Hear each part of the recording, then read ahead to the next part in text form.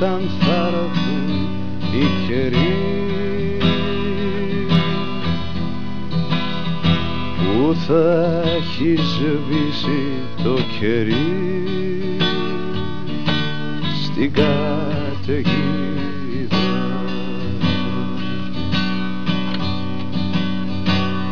Υπερασπίσου το παιδί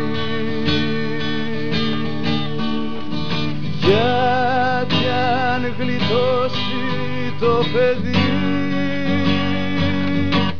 Υπάρχει ελπίδα